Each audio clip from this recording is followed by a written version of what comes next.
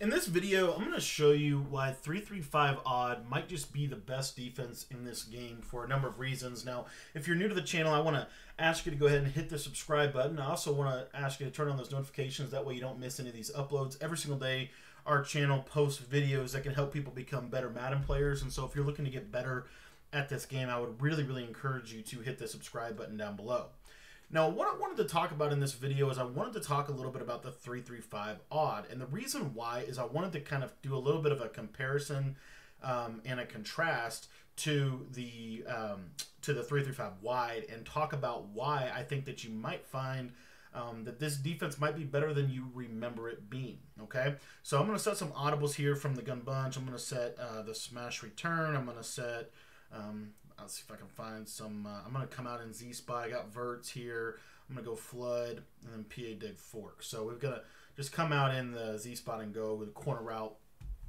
And um, first things first is I wanted to kind of come out in the two fronts and show you the difference. So I'm just going to come out in 335 odd. And again, I just want to show you what you're working with. So if you take a look at this defense, and this is one of the main reasons why I've actually started to use this defense situationally. Um, and, the, and the real reason is kind of kind of coming back to um, a little bit of run defense, and it's actually not bad run defense from this formation.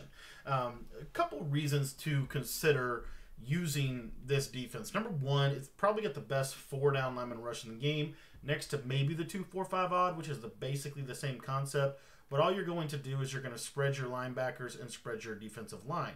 And what you're going to be able to do is you're going to be able to send pressure off of this edge with this with this defender right here. And this is where you want your best pass rusher. Now, with the way Madden 22 is at this point of the season, you could put Luke Kuechly here um, 99 linebacker with lurker, and he could play pass coverage for you. He could also blitz off the edge. Um, it makes it a little bit simple, more simple um, in terms of you don't necessarily have to have a safety in that position. That's all I'm getting at. You could put Micah Parsons there. You could put Elroy Hirsch there if you wanted to.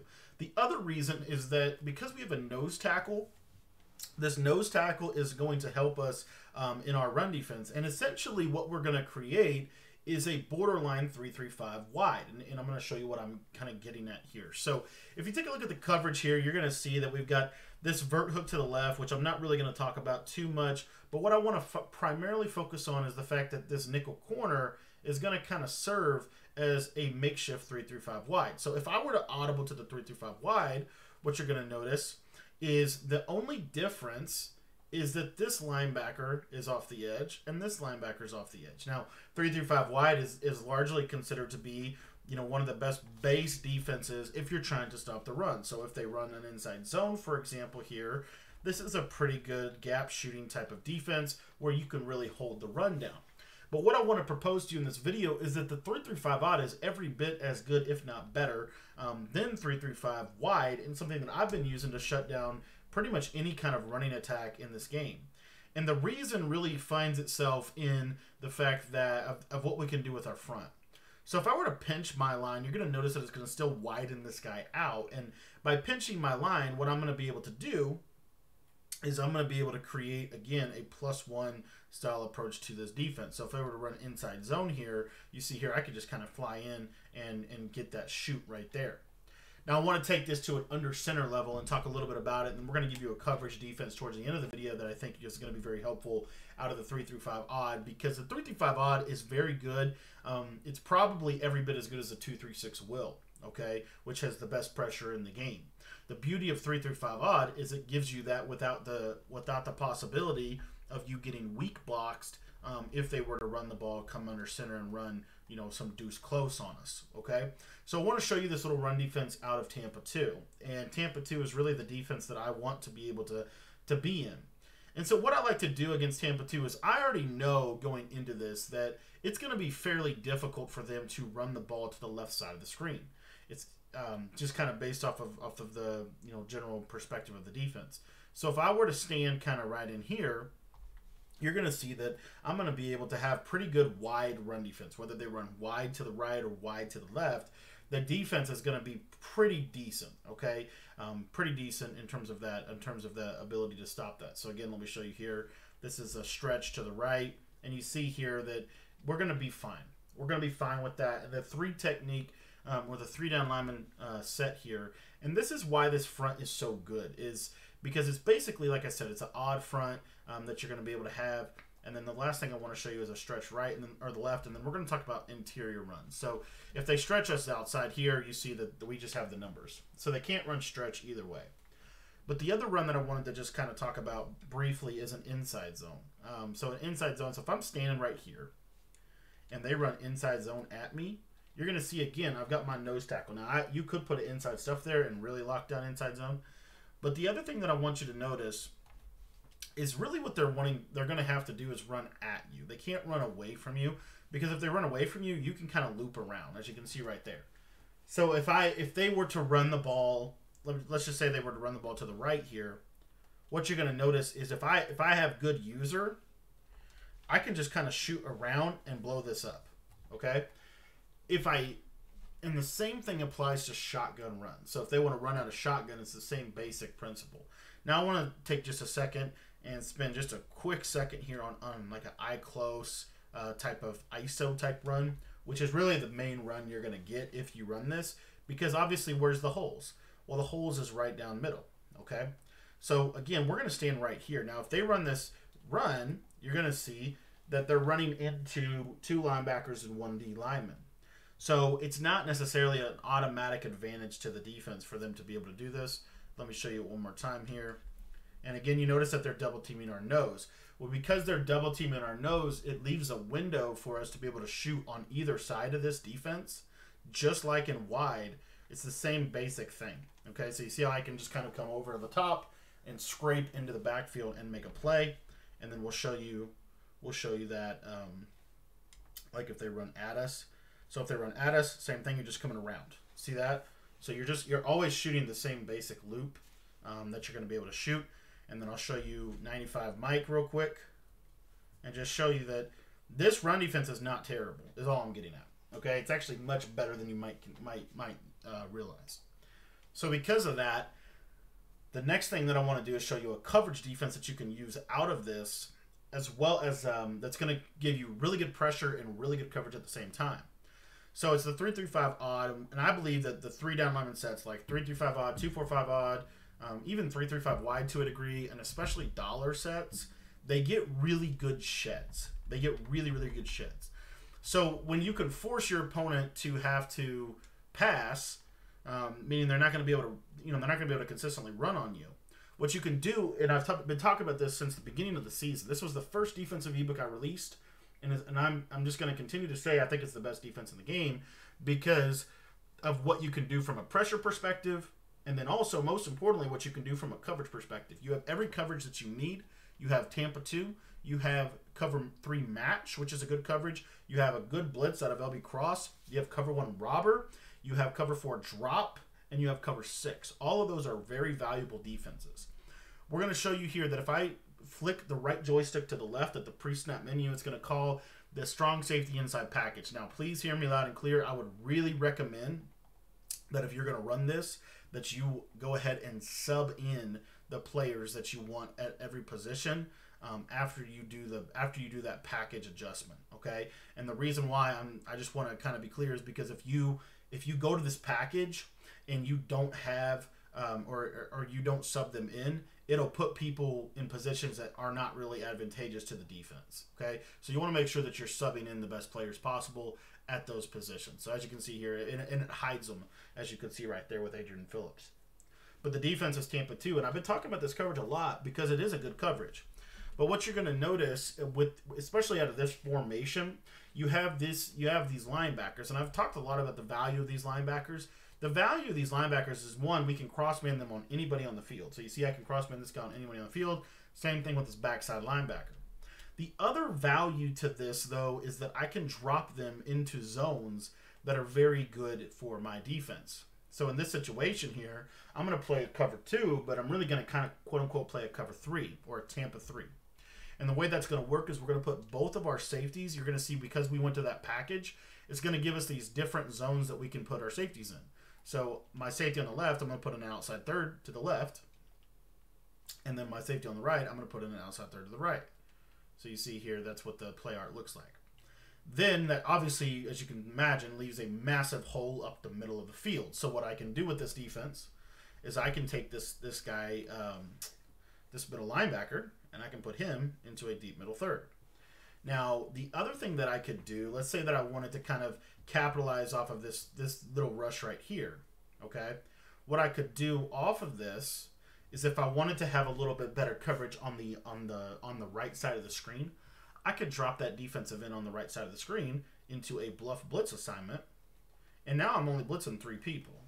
And the only thing that I really have to watch out for is if the running back goes to the flat. If the running back goes to the flat to the left, I'm going to go guard him. But what you're going to see is we're going to get great sheds. It's a great defense for edge threat on that player. And you're going to see that this defense is going to really funnel everything um, over the middle of the field.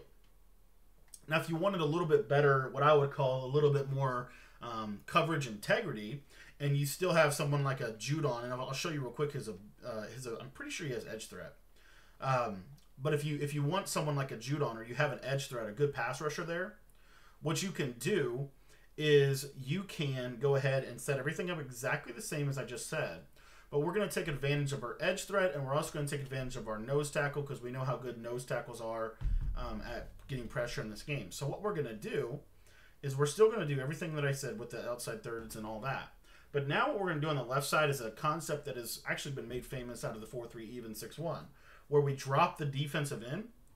And what that's going to do is it's going to force. So we're going to drop that defensive end into a vert hook. So we're going to have really nice over underneath coverage. But then what we're also going to get, if you take a look closely at this, is you're going to get this really nice angle for him to get a one-on-one on the outside. His edge threat elite activates or edge threat activates, and he's going to be able to get really good sheds. Now, the other thing that you can do from this, and this is a little bit more commonplace, but the other thing that you can do from this um, and so now let's say we get into a situation where we want to send some pressure at the opponent. Well, we've got a nice vertical hook here to the left side of the screen. So what we can do is we can leave that vert hook right there, and then we can go ahead and blitz that slot corner. And now guess what this looks like? This is basically pinch two. Okay, this is basically pinch two on the outsides here. So we're just going to run a simple pinch two defense. And what you'll see here is now they're going to send everybody out, and we're going to be able to get some consistent pressure. So that's kind of a little mini scheme of this, and I wouldn't necessarily blitz every down. I think you get a lot of mileage, honestly, out of the the, the three three five odd. If you just run this four down lineman blitz, you're going to get a lot of mileage out of it. You see, you get that nice little disengage, and it comes around the edge very consistently. Okay. Now, um, another last little piece of this, um, we know that bunch, if they block their running back, um, if we contain, oftentimes the contain logic can glitch out the running backs. As you can see here, we're still fighting through, and you're going to have a nice little basic passive pressure rush out of this four down lineman um, or four down lineman pass rushing concept. Now, if they block their tight end, it makes it actually even more advantageous for this because you see here, you get this nice instant shed, and as you can see, you're coming in pretty much untouched. Okay, so this is a concept and a defense that you can kind of build off of this as this one little piece of this.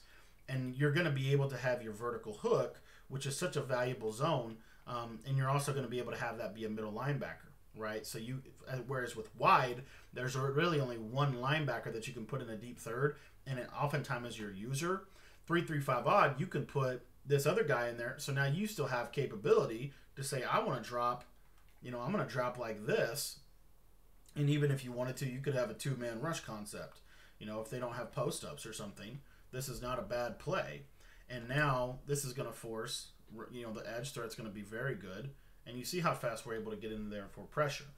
So this defense, all in all, guys, is something that I've been talking about a lot this year, and it's because it really is one of the better defenses in the game.